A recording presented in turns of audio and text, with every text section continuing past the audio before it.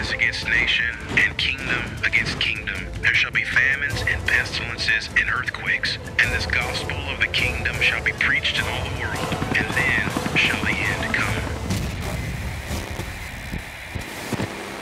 Tell us, when will these things be? And what will be the sign of your coming and of the end of the age?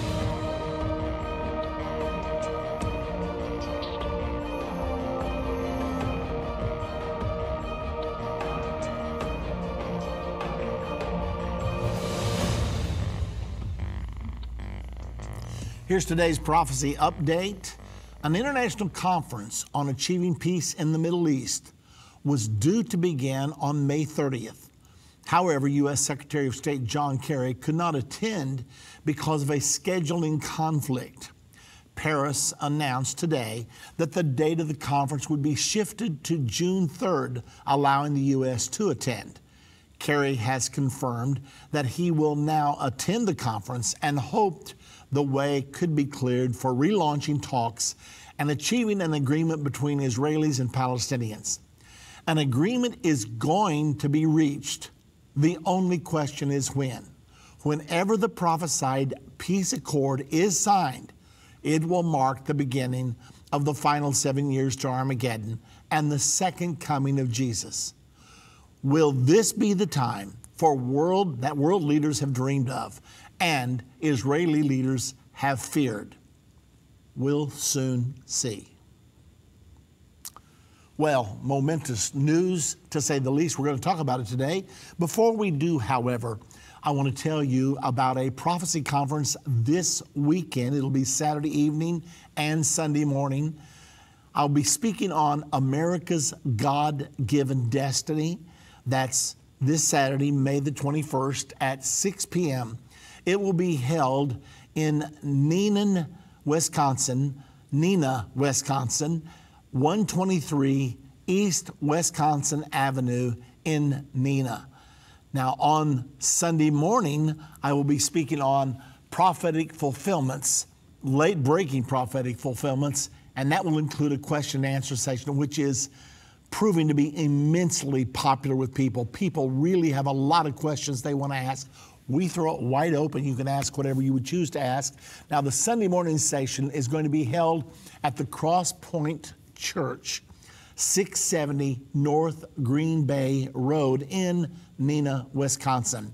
So, one more time, that's Saturday evening, 6 o'clock, Sunday morning at 10 o'clock. Uh, you are welcome to all of those sessions. There's no charge to attend. There will be a free offering, a free will offering received. We would love to see you there. I think every American needs to attend this conference where I will be speaking on America's God given destiny because if you know from the Bible America's destiny and you're an American, then you will understand your destiny in the times that are just ahead. These are not ordinary times. We are in the end time now. The end time's not coming. The end time is right now. And since we're entering in the period of more prophetic fulfillment than any other time in all of history, all of history, we are entering that time right now. It is so vital that all of us understand exactly what is going on. Well, listen, I want to get right into our program today because so many things are happening. Uh, John Kerry has now committed to go to the Paris conference on Palestinian Israeli peace. This article comes from the Jerusalem Post just today. U.S. Secretary of State John Kerry said on Thursday he will attend a conference in Paris on June the 3rd to discuss possible Israeli Palestinian peace efforts, but said it was up to both sides to decide whether they were ready to negotiate. The parties themselves have to make the decision to negotiate, and in that, clearly there will have to be some compromise. Without compromise, it is not possible. Kerry told a news conference during a meeting of NATO foreign ministers. I will work with the French, I will work with the Egyptians, I will work with the Arab community in good faith in an effort to see if we can find a way to help the parties see their way to come back, he added. Now, I want to make sure that we really understand what the stakes are here because the stakes are high. I want to make sure that uh, as we start our discussion today, that all of us are able to perceive what is really going on. Here's what's going to happen at this conference this conference is the international conference that Mahmoud Abbas, the head of the Palestinians, has been pushing towards for a long time.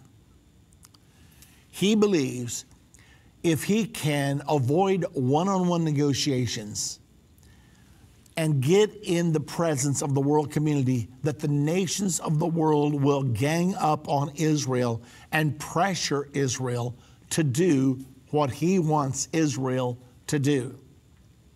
Now, Abbas has repeatedly said Israel must withdraw to 67 borders, making room for the establishment of a new Palestinian state with East Jerusalem as its capital.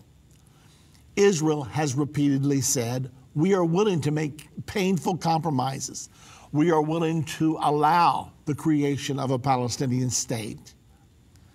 But we cannot withdraw to 67 borders because they are indefensible.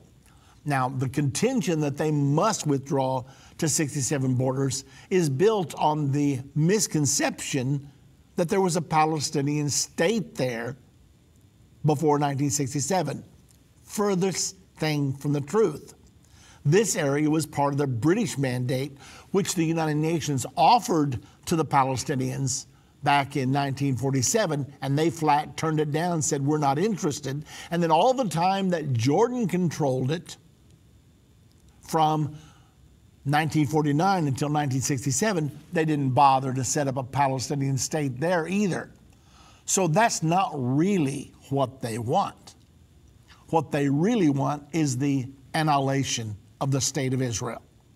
I mean, the day after Israel declared independence within the area that the United Nations had allotted for them, they declared their independence. They were attacked by six Arab countries, the main country being Jordan. Jordan then captured the West Bank area and stayed there for the next 19 years until 1967 when they again attacked Israel. Israel counterattacked, drove them back into their own country, back across the Jordan River, and took possession of the rest of the British mandate, the area that's called the West Bank. It's never been a Palestinian state. However, there are a lot of Arabs there that now call themselves Palestinians. This conflict, I want to make sure that everybody understands. Many people say if you get peace between the Palestinians and the Israelis, we can have peace on earth. That's the core of all the conflict in the Middle East. Well, it's not true because there were wars between different Arab countries, between Iraq and Iran. They fought for eight years with eight with uh, a million fatalities. There have been many other wars. They're fighting right now in Syria, and they're also fighting in Iraq. Uh, they're fighting in Yemen, and there are no Israelis there. So there's something about the Arab mentality. They're always going to fight wars, and it continues. But the world community has bought into the narrative that it's the Palestinian Israeli conflict that's the root of all of these evils, even though it is not true. As a matter of fact, the Palestinians like to say the settlements are the root of the problem, but guess what? There were no settlements before 67, and the Palestinians still would not make peace with Israel. There were no settlements, zero. From 1948 until 1967, none. And yet, the Arabs continued to attack and vow to drive Israel into the sea. Uh, Nasser of Egypt Assad of Syria, and King Hussein of Jordan all fought against Israel in the 67 war. And to the whole world's astonishment, Israel absolutely routed them in six days. It's called the Six Day War. Okay, so they're coming together in a few days now, June the 3rd. They're coming together for this international conference, which Israel opposes because they understand that the international community is going to gang up, up upon them. Now, if they come up with some kind of the parameters for a plan, and then if they end up putting it in the form of a resolution before the United Nations, and then if the UN would pass a resolution demanding that Israel withdraw to certain borders, then that would take the force of international law. And if Israel were, would refuse to comply, they now find themselves having to fight against the world community. All right, let's talk about what's likely to happen at this conference. The International Quartet, which has was founded actually to pound out a peace agreement and has continued to work on it since it was formed in 2002, I think it was, but yet to no avail. They are putting together a report, hopefully finished by the 25th of this month, preparing this report for this international conference in Paris. Now, the conference in Paris was in danger of being aborted before it ever began. If the U.S. would have refused to go, then there would have been no legitimacy because as long as the U.S. is willing to wield its veto power at the UN, anything they do would be useless. Now, then, though, somehow, and I don't know for sure how they did it, they have convinced the U.S. to send a delegation to this international conference. Now, did you notice in what I read that Kerry was, was saying that he's going to go there and he hopes to be able to get the two sides to come together to negotiate. But the idea of this international conference is to get the world community to agree on what a peace should look like. If all of the international community, including the U.S., could come to an agreement as to what the peace should look like, now all of a sudden you can take it before the UN Security Council and the U.S. would not veto it. President Obama has threatened repeatedly if you don't get peace with the Palestinians, we cannot guarantee you that we will protect you with our veto. Mr. Martin Indyk, who was the special envoy to the peace talks of 2014, he issued that threat very openly. So Abbas is hoping that this international conference is pushing toward that goal. Israelis and Palestinians are not invited to this first summit. However, the plan is to define the parameters of a peace deal here and then to call an international meeting later on in the summer where Israelis, Palestinians, and the whole world will be invited, preparing for the fall when the UN General Assembly takes place, when there could possibly be a resolution passed. Okay, well, let's just say you and I are a fly on the wall at this meeting on June the 3rd. What's likely to happen there? Well, the first thing will be undoubtedly the finding of the quartet. Okay, here's where we think things are right now. This is the Palestinian position. This is the Israeli position. And here are the differences in the middle. Israel refuses to give up Jerusalem, to divide Jerusalem the Palestinians say, without East Jerusalem as our capital, no peace. Then they've got the problem of this Temple Mount that is a continual source of conflict. So, how can we solve the Temple Mount? The Muslims say it's ours. The Jews say that's the site of our first temple, the site of our second temple. It's the place where our God said, I will put my name there forever. It's the center of Jewish life we will never agree to surrendering it right now, just for the sake of peace.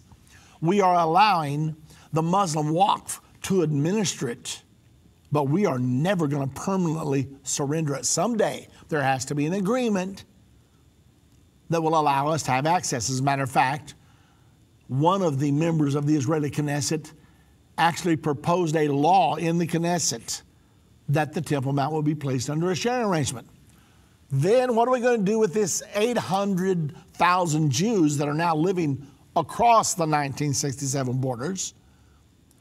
Are we going to bring the bulk of them that are in population centers close to Israel, close to Jerusalem, and allow them to be annexed by Israel and then give territory of equal acreage to the Palestinians from another area so that we can say we got 100% of our land back? Now, that's one of the propositions that's been made and was apparently thought workable in times past. And what about these Jews that live out there so far that it's not practical for Israel to annex them, that they will be a part of the territory that's going to be the Palestinian state when it's formed? What do we do with those Jews? Now, these are all issues that they will be wrestling with when they get together a few days from right now. Now comes John Kerry. Martin Indyk will probably be with him. They will be there because they're the last ones to sit down at the table with the Palestinians and the Israelis. This was back beginning in 2013, continuing on to 2014. Let me give you a little background. President Obama had pressured Benjamin Netanyahu so much to quit building the settlements that Netanyahu said, okay, I'm going to declare a 10 month moratorium on any building of settlements. 10 months I'll give you to get the Palestinians to the peace table. So Israel quit building for 10 months. Obama kept trying to get the Palestinians to the table, one excuse after another, can't do it, can't, can't come right now, on and on and on and on. All the time, Israel was not pounding a nail. Finally, when the 10 months was just about up, about two weeks before the deadline, who shows up for the peace talks? Mahmoud Abbas. He comes in with all of his fanfare. I'm here to talk. And Netanyahu said, Now look, I gave you 10 months, and when the moratorium is over, I'm going to start building again. Well, the Obama administration tried to pressure him. Don't do it now. We've got him at the table. Abbas said, You should have had at the table. Um, Netanyahu said, You should have had at the table 10 months ago. This is all theater. They're only here to try to get you to pressure us and to quit building the settlements, and we're not going to do it. If we make peace, we can move our borders wherever they are. But as of right now, we gave you 10 months. Abbas played you like a drum, and we're not going to do this. So consequently, that's what's going to be, that's what happened there. Well, then they, they negotiated off and on from August all the way through March. And they were pushing. Kerry was pushing with all of his might. I mean, the man traveled incessantly, negotiated between Israel and the Palestinians eh, for nine months. He was negotiating back and forth and doing everything he could to put this peace deal together. However, there were some things Israel was unwilling to do, and there were some things that the Palestinians were unwilling to accept. One week before the deadline, the deadline I think was April the 24th of 2014, they were supposed to get the deal done. And Abbas had said, I will not go to the UN. I'll give you a chance to get this peace deal done. One week before the deadline, when America was using all of its muscle to force things, Abbas suddenly announces that he has signed a unity agreement with Hamas, who's on the official terrorist list of the United States of America. So now Abbas goes off and forms a unity government, supposedly, with Hamas, and Hamas has it in its constitution that they are dedicated to the destruction of the nation of Israel. So is Israel going to negotiate with someone who has vowed her destruction? Because they now supposedly have a unity government. They're going to put the West Bank and Gaza all back together again. Well, you know what happened? The peace talks aborted. Been no talks since that time. Of course, then there was the continual rocket attacks on southern Israel until after about 8,000 rockets were fired from Gaza, Israel attacked Hamas, destroyed all the houses of all of the Hamas leaders. A couple of thousand people died. The carnage was terrible. Many Israelis would have died. I think maybe 60 of them did. The only reason more did not is because Israel's new Iron Dome technology worked beyond anyone's imaginations. They picked off rocket after rocket. I'm talking about when those rockets would be fired at Israel, the Iron Dome would shoot them down. Now, to show you the level of this achievement, it's like hitting a bullet with a bullet. We're talking about rockets that fly at tremendously high speeds. It's as if you were trying to hit a, a bullet with a bullet. Israel and the United States had worked together on the Iron Dome technology. It was incredibly successful. So while Hamas kept on fighting and losing a lot of people, Israel lost some, but not that many. So it was a smashing victory, and yet the Palestinians declared they won. I mean, they lost 2,000, Israel lost 58, so they won 2,000 to 58. Uh, I don't know how you keep scoring that kind of a ball game where the opponent scores 2,000 runs and you score 58, and then you turn around and claim victory. Well, that's the way they do. They're ludicrous. But anyway, the other thing that happened was the Palestinians are masters at trying to set up Israel for war crime charges. What they do is they go into hospitals and schools and they put their fighters there and their ammunition depots there and then when Israel knows they're there and attacks them, and then a few civilians are killed as a result, it's all Israel's fault. Israel is guilty of war crimes. Well, all of that happened between 2014 and 2016 right now. In the meantime, over the last few months, the knife intifada began. And Palestinian after Palestinian attacked Israeli civilians, anybody that can get their hands on, bus stops, on the buses, uh, down in the streets of Jerusalem, wherever, any place they could attack a Jewish person, they did.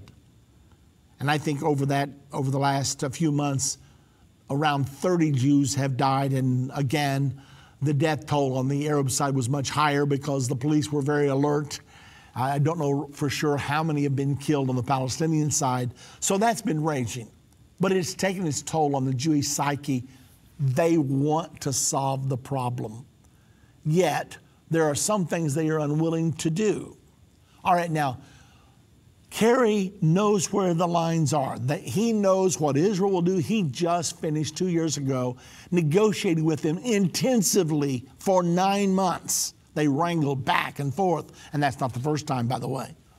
So it's pretty well understood where the Palestinians stand and where the Israelis stand. So at this conference that will be convened in Paris on June the 3rd, with the specter of a plane being blown out of the sky this morning, a plane going from Paris, France to Cairo, Egypt, with all that specter as a background, with ISIS declaring, we are going to make a full assault on Israel, and we're not going to fight within any borders. We'll fight you wherever we find you. This is an international conflict. With all that pressure coming down, with the world wanting to have some respite, some peace, that's going to be the climate of the June 3rd meeting. We've got to get this deal done. Now, here's what the planners really want they really want the world community to come together and say, okay, here's what we think is fair and here's what we think is doable. Yes, it may cause Israel some pain, and yes, it may cause the Palestinians some pain. There's only one way to get there, just like Kerry said in the article I read, and that's through compromise. Both sides have to compromise. So here we are in Paris, France, a couple of weeks from right now, and they're trying to get this deal done. Now, I want to remind you that if they're successful, it will be the greatest prophetic fulfillment in the last 2,000 years.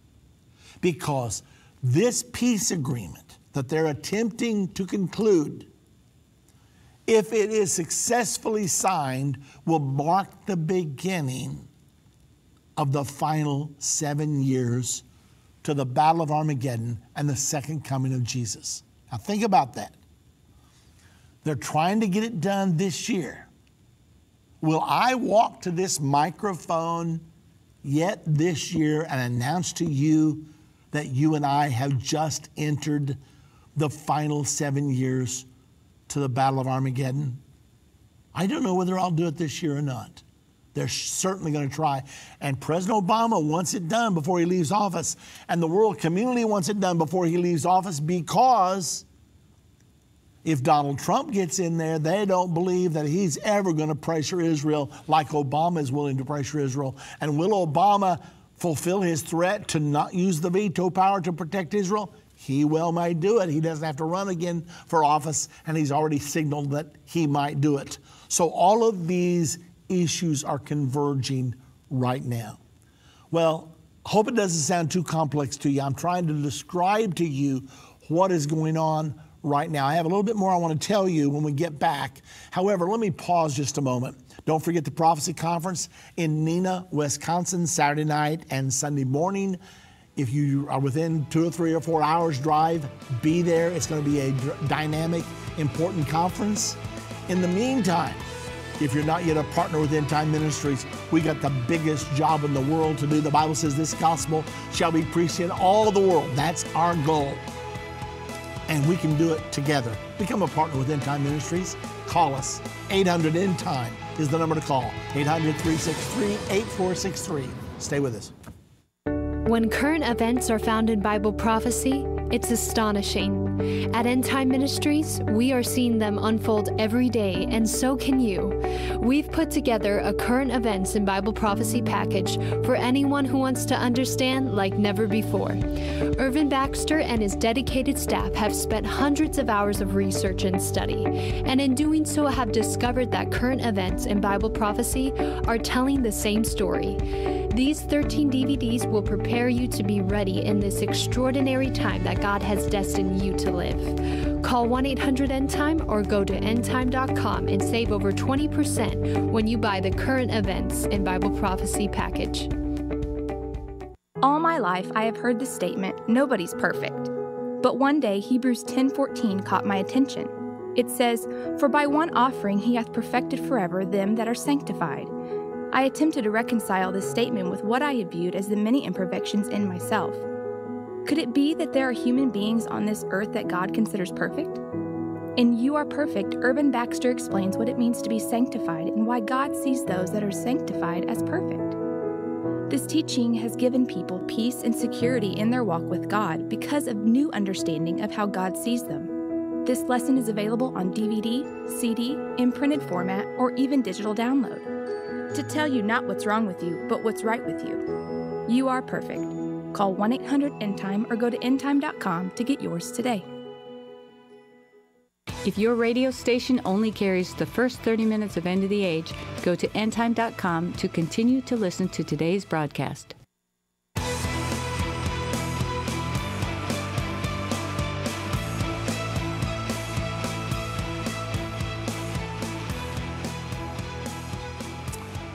Well, exciting times to say the least. Prophetic times, you better believe it, happening all around us. Now, I'm going to take your calls today, and I want to go ahead and do that right now. I have some more information for you later, but right now, let's go out to the state of Washington. Jim is calling from there. Hello, Jim. What's on your mind? Hi, uh, Brother Evan Baxter. Yeah. Yes. Go ahead. Jim. You're on the air. Okay. Yeah. Thank you so much uh, for uh, your ministry. I've been listening for maybe right now it's half year, and uh, I'm really uh, growing with uh, about all the uh, things you mentioned about uh, the end time and other prophecies. But I have one uh, question about uh, in uh, Gospel Matthew 24, Yes. uh, 32 to 36, uh, mentioned about the uh, fig tree. So, which one is uh, really mentioned about that? Well, yeah, can you explain a little bit about the uh, fig tree? Okay, Matt, uh, Jim, I'm having a little bit of problem understanding. Would you state your question one more time for me? Yeah, I have a question about the uh, fig tree on uh, 32, verse 32 to 30. Oh, yes, I, I understand now. I, I've got you.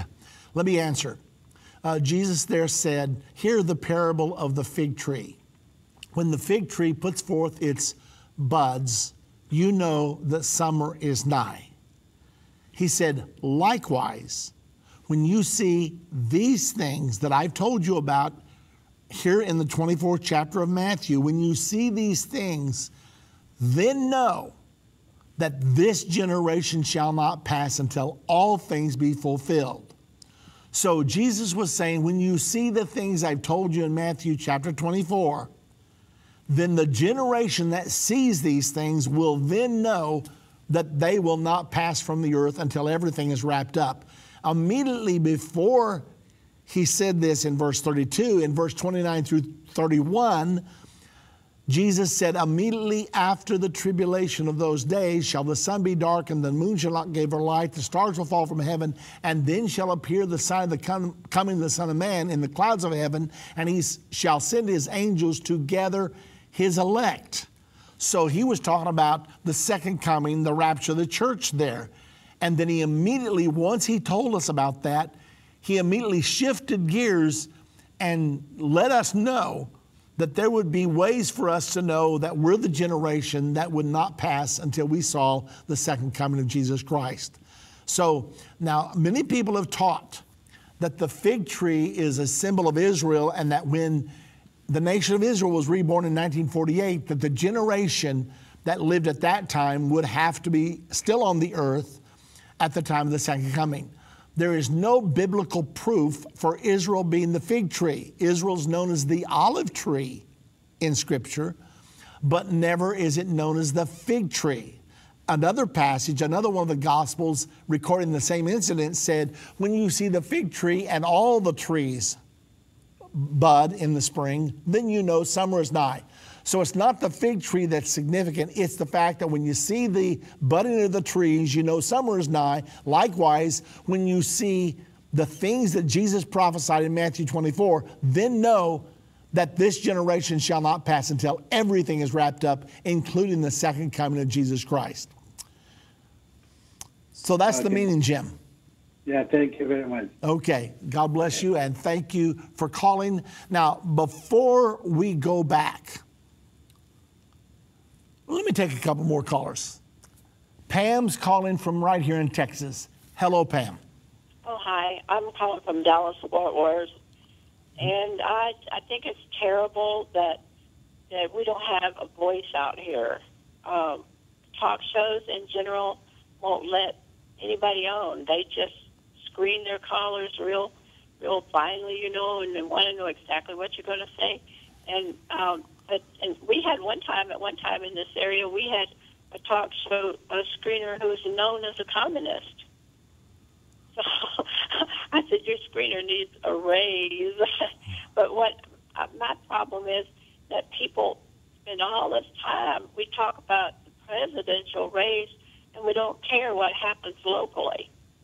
I had ten people or so vote in my election, a local city council meeting, and there's where uh, we're having most of our troubles because God judges us on what we do for for our own um, leaders in our own hometowns. Like, okay, we have a sheriff, this whole Tarrant, Tarrant, Tarrant County sheriff, and uh, he keeps running down the Christian sheriff we used to have, and that sheriff put in something called a God pod.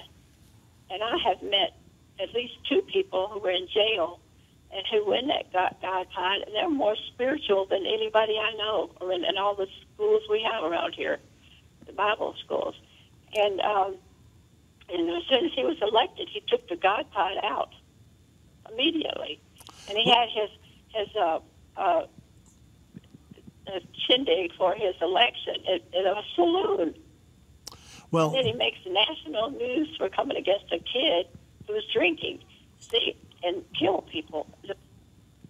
Well, Pam, like you say, the the national politics tends to get all of the attention pretty much, but it is important what is happening locally because uh, the local leaders, many of them are on their way to becoming state leaders and then national leaders, as we have already seen.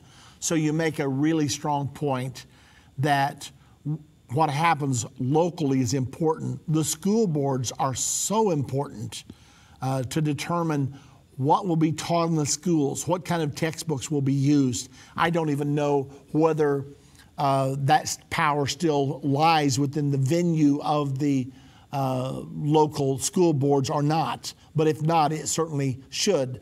Um, one thing I'd like to say is this I remember when George Bush Sr. was running for office uh, for the presidency, he promised to abolish the education department because education used to be all with the states and there was no federal funds given to the schools. Everything was local. Well, then they established a federal Department of Education, and the uh, SAT scores have gone down ever since. And so Herbert Walker Bush, he announced that he would destroy, do away with the Department of Education but of course, he said one thing and did another. He didn't destroy the Department of Education, and nobody has had the backbone to do it ever since. Anyway, uh, but once they take everything federal, then it becomes very remote and it becomes politics as usual. So uh, you make a good point, Pam. I appreciate your call and Thank you very much. Now, before we go to any more calls, just let me quickly go back to what we're dealing with today, and that is this meeting that will be held on June the 3rd in Paris when they're hoping to pound out, the international communities hoping to pound out the parameters for a Middle East peace deal. Now, I promise you, a thing called the Clinton parameters will be there. Uh, Bill Clinton pounded out a peace deal with Yasser Arafat and Ehud Barak way back in 2000. And the terms that he reached before everything broke down those terms were called the Clinton parameters. Bill Clinton recently said to the Palestinians, I had a deal worked out, you'd have gotten all of Gaza back, but you refused, and Arafat walked away. So consequently, uh, those particular parameters are now called the Clinton parameters, and many people think that if a deal is actually achieved, it will be along the line of the Clinton parameters. Okay, so what's happening today in Israel?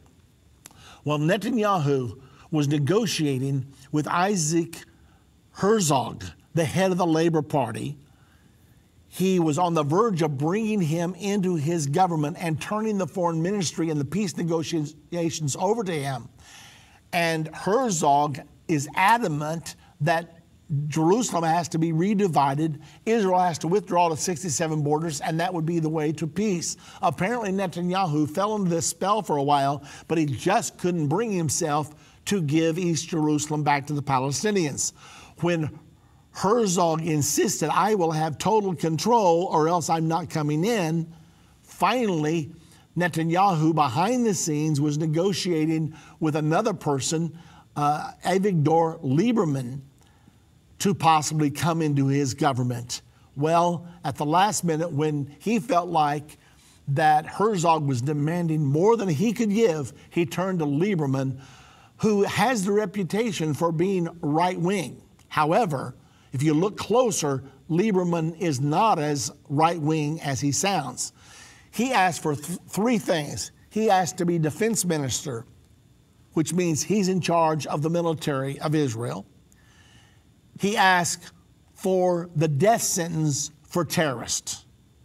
Now, Israel's not had a death sentence. They actually have a law in the books, but they've not executed anyone since they executed Eichmann in 1962. But those were the conditions that Lieberman asked for to come into the coalition to give Netanyahu a bigger cushion so that his government would not be toppled. Now, he only brought six votes, but Netanyahu who went from a majority of one to a majority of seven now. Well, if you had one or two people rebel against you, they could topple your government. Now, then it would take a more significant number. So they've now brought Lieberman in, and he's over the defense. Now, here's what one article said about Lieberman. Despite the Palestinian Authority's accusation of extremism, Lieberman has been called out for not taking any right wing actions in his previous positions of power. He used to be in the Netanyahu government, and of promoting a leftist agenda. He's actually been accused of leftism seen in his election campaign calling to give up the triangle region in the north where over 300,000 Arab citizens of, Israel live as part of creating a Palestinian state. There's a triangle up in the north part of Israel where 300,000 Arabs live. He says what we need to do is to move the wall over and let those 300,000 Arabs become a part of the new Palestinian state we need to keep the parts where Israel is. That was his proposition. It was his version of transferring population. Now, he doesn't want to move anybody, he just wants to move the border so that the Arabs would be on the Arab side and the Israelis would be on the Israeli side. Uh, so it's very interesting. Since he has strong ideas about how to come, uh, come up to a peace agreement, could it be that he and Netanyahu will work together for this new approach? Don't know the answer. All I'm telling you is there's a peace deal coming, and the international community is meeting on it June the 3rd. We live in interesting times. Back to the phones. Helen is calling from Canada. Hello, Helen. What's on your mind today? Yes. Uh, how are you, Mr. Baxter? I'm wonderful. Thank you. Good. Um, I have uh, two little questions. The first is uh, yesterday on your program, we saw um, a big chart on, on the wall called Armageddon. Is, is it possible to obtain a, a copy of this chart by email? I will have to arrange that for you. That's part of a brand new lesson I'm teaching from here to Armageddon. But I'll tell you what I'll do. I'll talk to our management team and see if we can arrange that for you, Helen. Okay would you you want me to um, wait for after the break for yes, the other question? Please, please hold after the break. I'm sorry I brought you on so close to the break. I'll come right back to you as soon as we get back from this break. You're listening to End of the Age, and important things are breaking in the prophecy world today. Stay with us.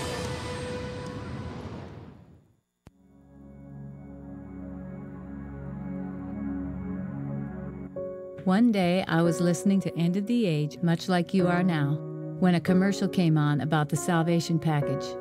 It's a set of four DVDs in which Irvin teaches about topics like Nicodemus' question to Jesus What must I do to be born again? I remember Irvin said in the commercial, If you don't love the truth, don't get this because it will make you mad. Well, I was hungry for the truth, so I did get it, and I am so glad I did. I'd been studying the Bible for many years, but learned there was more in the scriptures about what it means to be born again. When the disciples came to Jesus and asked, What will be the sign of your coming and the end of the age? Jesus said, Take heed of false teaching, for many will come in my name and deceive many. Now I know what Jesus was talking about when he made that statement, and I won't be deceived. The salvation package changed my life and my eternity. I'm so thankful for that commercial I heard that's why today I wanted to record one too for someone out there listening, searching for the truth. You will find it in the salvation package. Get the 4 DVD set for 65 or the individual DVDs for $20 each.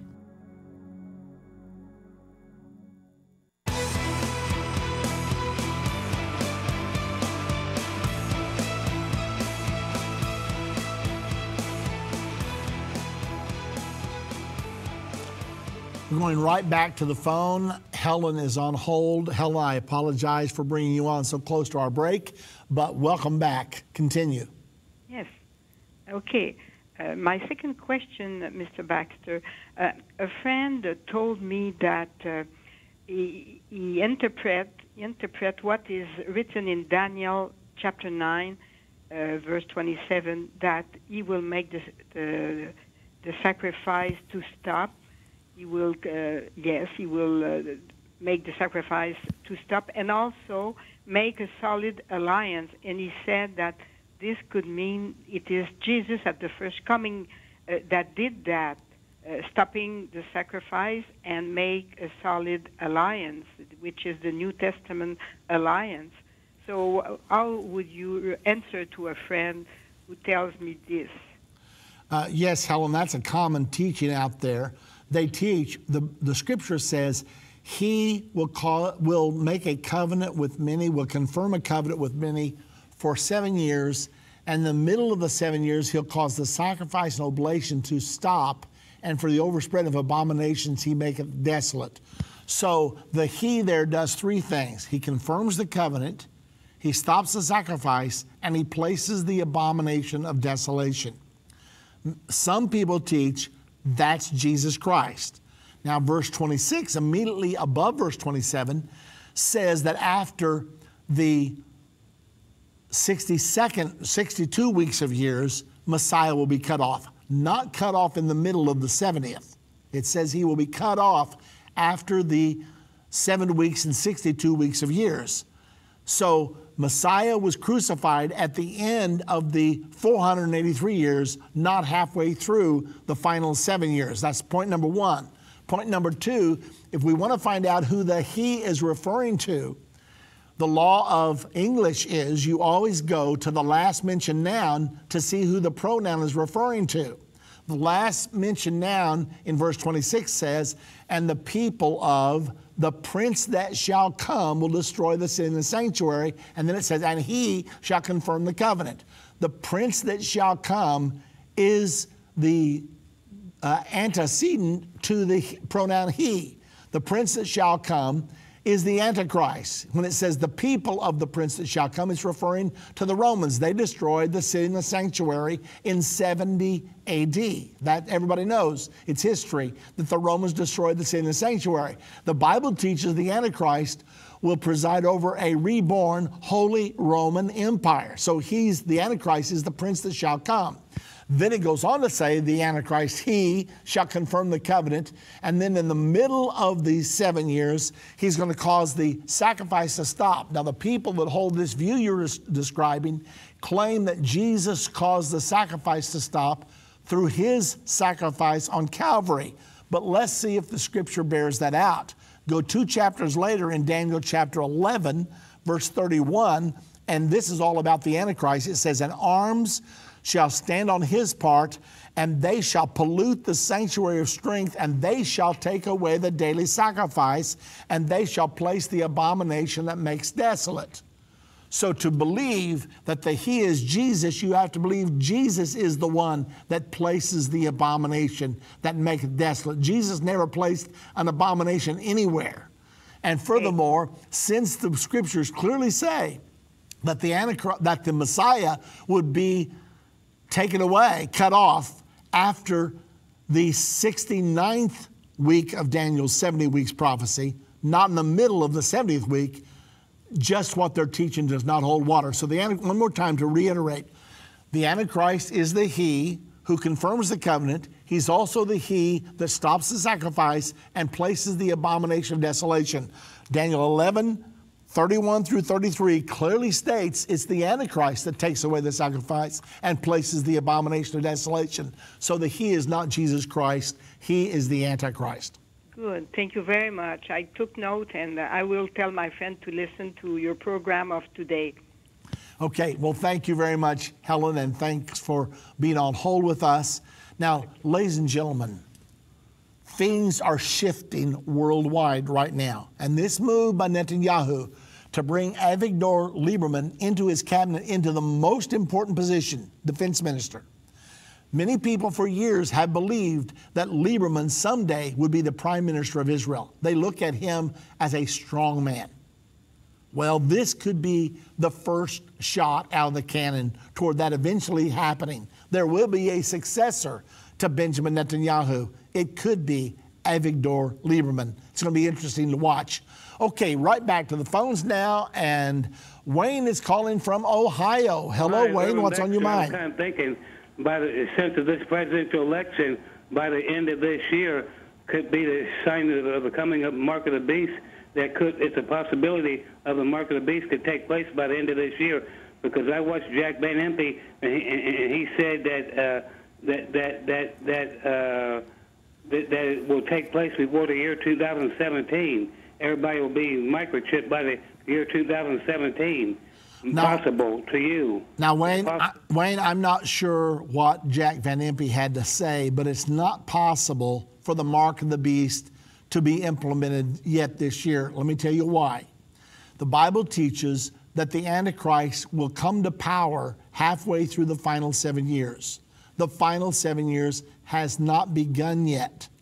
Consequently, the Antichrist will not come to power. The Bible says in Revelation 13 5 that power will be given unto him to continue 42 months. The reign of the Antichrist begins when he stands on the Temple Mount claiming to be Messiah and God. It actually says he will sit in the temple of God. There's no temple on the Temple Mount yet. Once the peace agreement is signed, they will build their temple, the Jewish people will, during the first three and a half years. Then the Antichrist will stop the sacrifice, sit in the temple of God, claiming to be God. The Bible says in 2 Thessalonians chapter 2, then shall that man of sin be revealed. That's when he will be recognized as the leader of the world, and that's when Christians who know their Bibles will recognize him as the Antichrist. So, consequently, you can't take the mark of the beast until the beast is in power. The mark of the beast will be implemented during the final three and a half years of the seven year period, the final seven year period. So, I don't know for sure what uh, Jack uh, had to say, really. I, I don't want to contradict him openly on the air.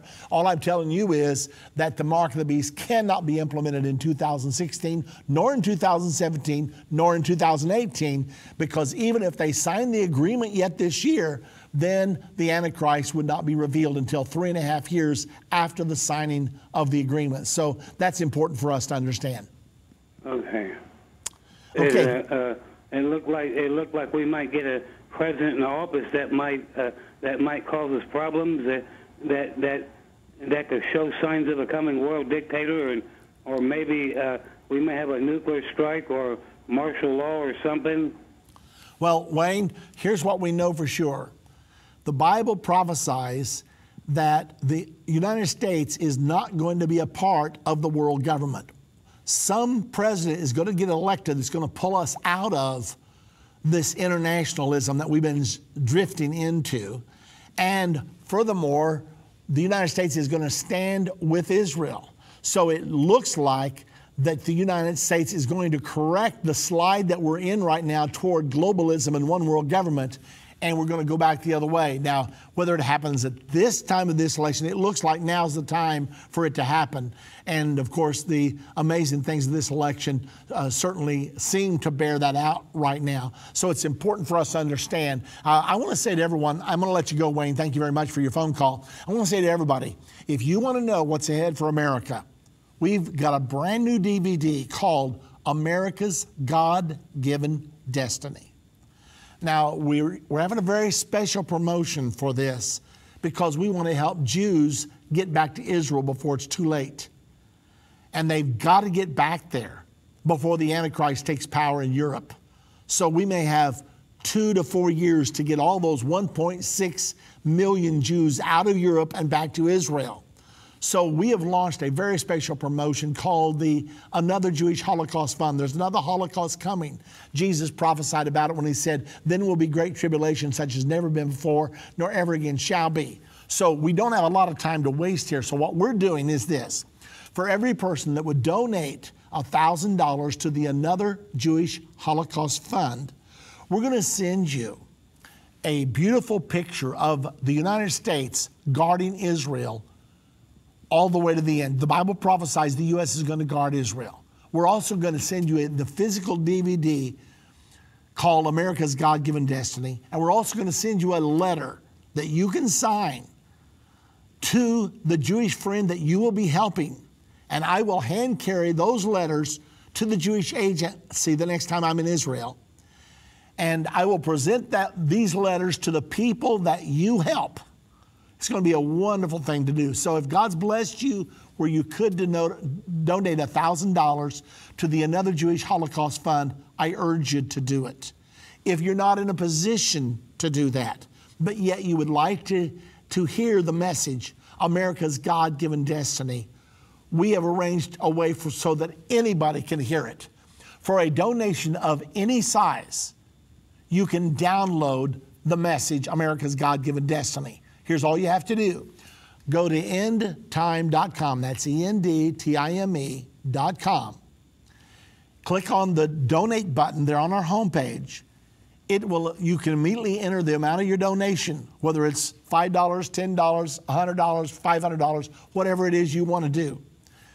You enter that there, and it will give you your password to download this DVD, America's God, or this video, America's God Given Destiny.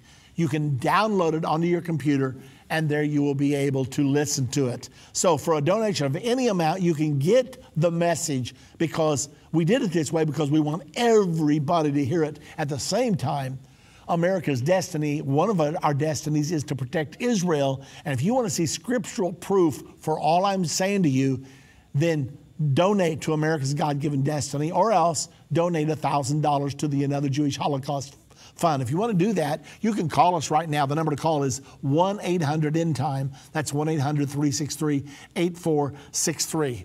Well, let me see. Do we have any more time? I'll tell you what. Those of you that are remaining on the screen, I'm going to ask you to call back tomorrow. Tomorrow is open line. I'm sorry that we have run out of time here today uh, because, well, there's a lot brewing right now.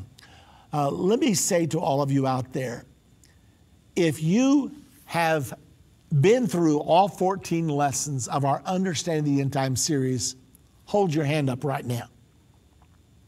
Okay, a lot of you have your hands up. To those of you that were not able to hold up your hand, you're the ones I want to talk to. My goal is to get every one of you to go through these 14 DVDs because you and I are entering in the time of more prophetic fulfillment than ever in the history of the world. And you're going to be blindfolded, and some of it's going to be dangerous. But this series is going to educate you so you're going to know where the minds are and you're going to know what you should be doing. The number to call to get your own copy of the 14 DVD series, which is entitled Understanding the End Time, the number to call is 1 800 End Time. That's 1 800 363 8463. Ladies and gentlemen, hear me. You've got to get through this series right now. And anybody can understand. You will understand these teachings. The number to call once again, Understand the End Time, 1 800 End Time.